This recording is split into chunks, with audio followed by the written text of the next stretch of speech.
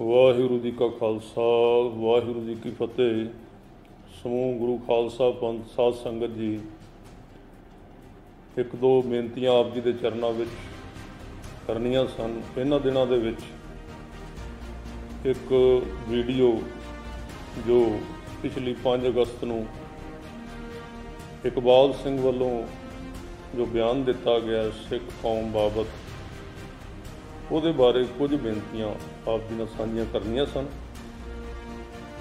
ਪਹਿਲੀ ਗੱਲ ਸਿੱਖ ਸੰਗਤ ਵਾਸਤੇ ਹੈ ਔਰ ਖਾਲਸਾ ਪੰਥ ਵਾਸਤੇ ਹੈ ਵੀ ਇਸ ਤਰ੍ਹਾਂ ਦੇ ਜਿਹੜੇ ਲੋਕ ਹਨ, ਜਿਹੜੇ ਸਮੇਂ ਦੇ ਹਾਕਮਾਂ ਨੂੰ ਖੁਸ਼ ਕਰਨ ਵਾਸਤੇ ਇਸ ਪੱਧਰ ਤੱਕ ਡਿੱਗ ਪੈਂਦੇ ਹਨ।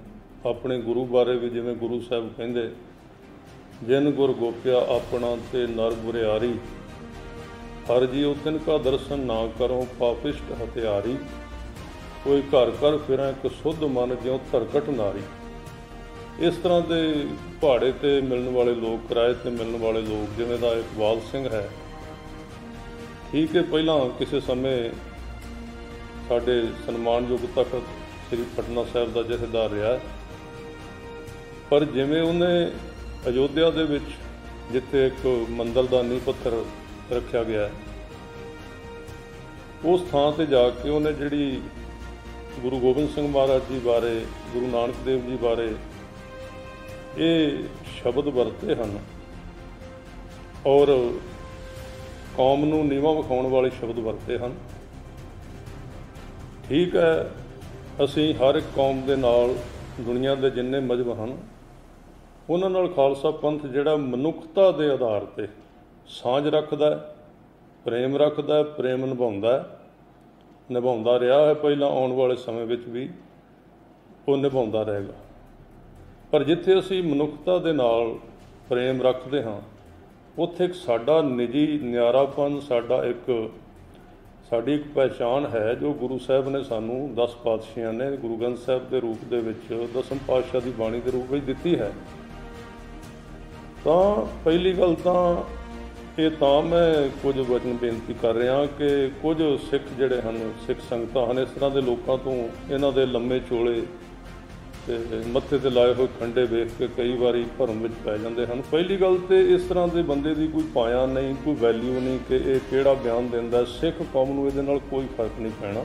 ਇੱਕ ਪੱਖ ਇਹ ਹੈ, ਕਿਉਂਕਿ ਸਾਡੇ ਕੋਲ ਆਪਣਾ ਸਾਰਾ ਵਿਰਸਾ ਹੈ, ਸਾਡੇ ਕੋਲ ਆਪਣੀ ਐਡੇ ਮਤਲਬ ਵਜਨਦਾਰ ਸਾਡੇ ਕੋਲ ਪ੍ਰੂਫ ਹਨ, ਸਾਡੇ ਆਧਾਰ ਹਨ ਪੰਥ ਦੇ ਅੰਦਰ।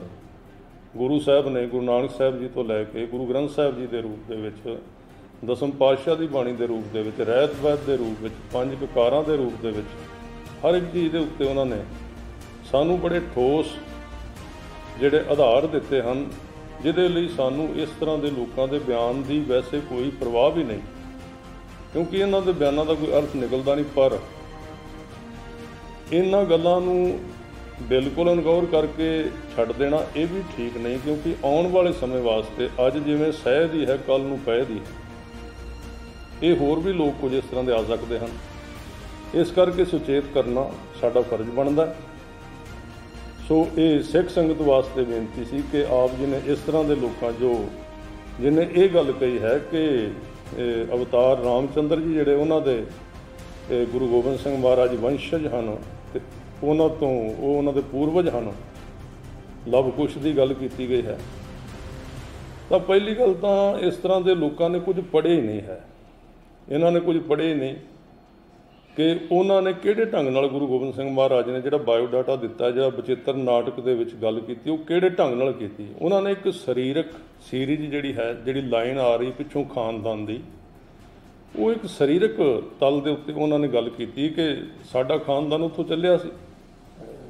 ਪਰ ਖਾਨਦਾਨ ਹੋਰ ਚੀਜ਼ ਹੈ, ਧਰਮ ਹੋਰ ਚੀਜ਼ ਹੈ। ਧਰਮ ਇੱਕ ਅੰਦਰ ਅੰਦਰੂਨੀ ਆਤਮਿਕ ਤੇ ਵਿਚਾਰਧਾਰਕ ਘਟਨਾ ਹੈ। ਗੁਰੂ ਸਾਹਿਬ ਨੇ ਜਿਹੜੇ ਹੁਣ ਪਿੱਛੇ ਜਿੰਨੇ ਤ੍ਰੇਤੇ ਯੁੱਗ ਦੇ ਵਿੱਚ ਰਾਮਚੰਦਰ ਜੀ ਹੋਏ ਨੇ, ਤਾਂ ਉਹਨਾਂ ਦੇ ਸਮੇਂ ਵਿੱਚ ਜਿਹੜੀਆਂ ਚੀਜ਼ਾਂ ਸਨ ਗੁਰੂ ਸਾਹਿਬ ਨੇ, ਤੇ ਉਹ ਆਪਣੀਆਂ ਸਾਰੀਆਂ ਨਵੀਆਂ ਚੀਜ਼ਾਂ ਸਾਨੂੰ ਦਿੱਤੀਆਂ। ਗੁਰੂ ਨਾਨਕ ਦੇਵ ਜੀ ਨੇ ਜਨੇਊ ਪਾਉਣ ਤੋਂ ਇਨਕਾਰ ਕਰ ਦਿੱਤਾ, ਦਸਮ ਪਾਤਸ਼ਾਹ ਨੇ, ਤਾਂ ਉਹਦੇ ਵਿੱਚ ਵੀ ਉਹਨਾਂ ਨੇ ਸਿਰਫ ਉਲੱਥਾ ਕੀਤਾ, ਹਵਾਲਾ ਦਿੱਤਾ, ਔਰ ਉਹਦੇ ਪਿੱਛੇ ਗੁਰੂ ਗੋਬਿੰਦ ਸਿੰਘ ਮਹਾਰਾਜ ਨੇ ਗੱਲ ਕਹਿ ਦਿੱਤੀ ਹੈ ਕਿ ਪਾਏ ਗਏ ਜਬ ਤੇ ਤੁਮਰੇ, ਤਬ ਤੇ ਕੋ ਆਂਖ ਕਰੇ ਨਹੀਂ ਆਨਿਓ। ਰਾਮ ਰਹੀਮ ਪੁਰਾਣ ਕੁਰਾਨ ਨੇਕ ਕਹੇ ਮਤ ਏਕ ਨ ਮਾਨਿਓ। ਇੱਥੇ ਹੁਣ ਇਹ ਸਾਰੇ ਜਿਹੜੇ ਪੱਖ ਨੇ ਗੁਰੂ ਸਾਹਿਬ ਨੇ ਖੰਡਨ ਕੀਤੇ ਨੇ, ਪਿਛਲੇ ਜਿਹੜੇ ਪੁਰਾਤਨ, ਜਿਹੜੇ ਸਨਾਤਨ ਮਤ ਦੇ ਸਿਧਾਂਤ ਸਨ, ਉਹਨਾਂ ਕਿਹਾ ਵੀ ਮੈਂ ਇਹਨਾਂ ਵਿੱਚੋਂ ਕਿਸੇ ਨੂੰ ਨਹੀਂ ਮੰਨਦਾ, ਮੇਰਾ ਆਪਣਾ ਨਵਾਂ ਹੈ, ਪੰਥ ਪੰਥ ਦੀ ਗੱਲ ਕੀਤੀ ਉਹਨਾਂ ਨੇ।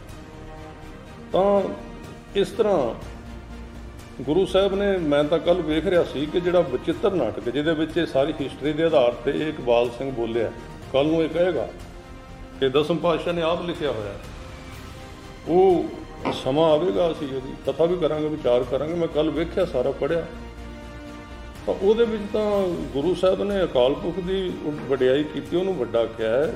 ਕਿਤੇ ਰਾਮਚੰਦਰ ਦੀ ਜਾਂ ਕ੍ਰਿਸ਼ਨ ਜੀ ਦੀ ਜਾਂ ਹੋਰ ਬ੍ਰਹਮਾ, ਇਹਨਾਂ ਸਾਰੇ ਦੇਵਤਿਆਂ ਦੀ ਗੱਲ ਜ਼ਰੂਰ ਆਉਂਦੀ ਹੈ, ਪਰ ਉਹਨਾਂ ਸਾਰਿਆਂ ਦੇ ਉੱਤੇ ਜਿਹੜਾ ਉਹਨਾਂ ਆਪਣਾ ਸਿਧਾਂਤ ਹੈ, ਉਹ ਅਕਾਲ ਪੁਰਖ ਨਿਰਾਕਾਰ ਵਾਹਿਗੁਰੂ ਦੀ ਗੱਲ ਕੀਤੀ ਤਾਂ ਇਹ ਬੇਨਤੀ ਸੀ ਕਿ ਇਹ ਸਿਧਾਂਤ ਹੈ ਗੁਰਮਤ ਦਾ ਵੀ ਇਹਦਾ ਸਰੀਰਕ ਖਾਨਦਾਨ ਜਿਹੜੇ ਨੇ, ਉਹਨਾਂ ਦੇ ਨਾਲ ਕੋਈ ਸਬੰਧ ਨਹੀਂ ਹੈ। ਜਦੋਂ ਕੋਈ ਨਵਾਂ ਧਰਮ ਪੈਦਾ ਹੁੰਦਾ, ਉਹਦੇ ਆਪਣੇ ਸਾਰੇ ਮੌਲਿਕ ਤੇ ਨਵੇਂ ਜਿਹੜੇ ਸਿਧਾਂਤ ਹੁੰਦੇ ਨੇ, ਉਹ ਇੱਕ ਆਪਣੇ ਆਪ ਦੇ ਵਿੱਚ ਸੰਪੂਰਨ ਹੁੰਦੇ ਨੇ। ਤਾਂ ਸਾਡੇ ਕੋਲ ਉਹ 10 ਪਾਤਸ਼ਾਹੀਆਂ ਦਾ ਸੰਪੂਰਨ ਸਿਧਾਂਤ ਹੈ। ਠੀਕ ਹੈ ਅਸੀਂ ਸਾਰੇ ਧਰਮਾਂ ਦੇ ਨਾਲ ਜਿਹੜਾ ਸਾਡਾ ਜਿਹੜਾ ਬਰਾਬਰੀ ਦੇ ਆਧਾਰ ਤੇ ਸਬੰਧ ਹੋ ਸਕਦਾ। ਤਾਂ ਦੂਜੀ ਜਿਹੜੀ ਇਹ ਬੇਨਤੀ ਸੀ, ਔਰ ਤੀਜੀ ਬੇਨਤੀ ਜਿਹੜੀ ਮੈਂ ਕਰਨੀ ਚਾਹੁੰਦਾ, ਕਿ ਕੁਝ ਲੋਕ ਇਹ ਵੀ ਕਹਿਣਗੇ ਵੀ ਵੇਖੋ, ਹੁਣ ਬਚਿੱਤਰ ਨਾਟਕ ਦੇ ਵਿੱਚ ਲਿਖਿਆ ਸੀ ਤਾਂ ਕਿਹਾ ਤਾਂ ਉਹਨਾਂ ਨੂੰ ਪਹਿਲੇ ਮੈਂ ਕਹਿ ਚੁੱਕਾ, ਬੇਨਤੀ ਕਰ ਚੁੱਕਾ ਵੀ ਬਚਿੱਤਰ ਨਾਟਕ ਦੇ ਵਿੱਚ ਇੱਕ ਸਰੀਰਕ ਖਾਨਦਾਨ ਦੀ ਗੱਲ ਕੀਤੀ ਗਈ ਹੈ, ਵਿਚਾਰਧਾਰਕ ਖਾਨਦਾਨ ਦੀ ਗੱਲ ਨਹੀਂ ਕੀਤੀ ਗਈ। ਉਹ ਇੱਕ ਬਿੰਦੀ ਜਿਹੜੀ ਖਾਨਦਾਨੀ ਲਾਈਨ ਹੈ, ਉਹਦਾ ਵਰਣਨ ਕੀਤਾ ਨਾ ਕਿ ਨਾਦੀ ਜਿਹੜਾ ਹੈ ਸਿਸਟਮ ਹੈ, ਉਹਦਾ ਵਰਣਨ ਗੁਰੂ ਸਾਹਿਬ ਨੇ ਕੀਤਾ ਇਸ ਲਈ ਗੁਰੂ ਸਾਹਿਬ ਦੇ, ਗੁਰੂ ਗ੍ਰੰਥ ਸਾਹਿਬ ਦੇ ਵਿੱਚ ਸਾਰਾ ਦਸਮ ਗ੍ਰੰਥ ਦੇ ਵਿੱਚ ਬਚਿੱਤਰ ਨਾਟਕ ਦੇ ਵਿੱਚ ਆਪਣੀ ਜਿਹੜੀ ਨਵੇਕਲੀ ਔਰ ਨਿਆਰੀ ਹਸਤੀ ਹੈ, ਉਹਦਾ ਵਰਣਨ ਕਰ ਰਹੇ ਨੇ। ਤਾਂ ਇਹ ਬੇਨਤੀਆਂ ਸਨ ਔਰ ਅਖੀਰ ਤੇ ਦਾਸ ਆਪਣੇ ਵੱਲੋਂ ਮੇਰੇ ਨਾਲ ਦੇ ਜਿਹੜੇ ਸਾਥੀ ਜਿਹੜੇ ਪ੍ਰਚਾਰਕ ਹਨ, ਹੋਰ ਗੁਰੂ ਕੇ ਸਿੰਘ ਸੰਗਤਾਂ ਜਿਹੜੀਆਂ ਪ੍ਰੇਮ ਕਰਦੀਆਂ ਨੇ, ਉਹ ਸ੍ਰੀ ਅਕਾਲ ਤਖਤ ਸਾਹਿਬ ਦੇ ਜਥੇਦਾਰ ਗਿਆਨੀ ਹਰਪ੍ਰੀਤ ਸਿੰਘ ਜੀ, ਉਹਨਾਂ ਨੂੰ ਬੇਨਤੀ ਹੈ ਕਿ ਇਹ ਕੋਈ ਵੇਖਣ ਵਿੱਚ ਲੱਗਦਾ ਆਮ ਵੀ ਛੋਟੀ ਕਾਰਵਾਈ ਹੈ ਕੋਈ ਗੱਲ ਨਹੀਂ। ਪਰ ਮੇਰੇ ਖਿਆਲ ਵਿੱਚ ਇਹਦੇ ਉੱਤੇ ਉਹਨਾਂ ਨੂੰ ਕਾਰਵਾਈ ਕਰਨੀ ਚਾਹੀਦੀ ਔਰ ਇਹਨੂੰ ਪੰਥ ਦੇ ਵਿੱਚੋਂ ਇਕਬਾਲ ਸਿੰਘ ਨੂੰ ਛੇਕਣਾ ਚਾਹੀਦਾ ਤਾਂ ਕਿ ਆਉਣ ਵਾਲੇ ਸਮੇਂ ਦੇ ਵਿੱਚ ਕੋਈ ਇਸ ਤਰ੍ਹਾਂ ਦਾ ਬੰਦਾ ਹੋਰ ਕੋਈ ਹਿਮਾਕਤ ਨਾ ਕਰੇ, ਕੋਈ ਹਿੰਮਤ ਨਾ ਕਰੇ ਇਸ ਤਰ੍ਹਾਂ ਦੀ ਗੱਲ ਕਰਨ ਦੀ। ਸੋ ਇਹ ਬੇਨਤੀਆਂ ਸਨ। ਬਾਕੀ ਸਿੱਖ ਕੌਮ ਨੇ ਸਾਰਾ ਕੁਝ ਵੇਖ ਲਿਆ, ਸੁਣ ਲਿਆ। ਔਰ ਬੇਨਤੀ ਹੈ ਵੀ ਇਸ ਤਰ੍ਹਾਂ ਦੇ ਲੋਕਾਂ ਨੂੰ ਮੂੰਹ ਨਾ ਲਾਇਆ ਜਾਏ। ਇਹ ਬੇਨਤੀਆਂ ਪ੍ਰਵਾਨ ਕਰਨੀਆਂ। ਵਾਹਿਗੁਰੂ ਜੀ ਕਾ ਖਾਲਸਾ।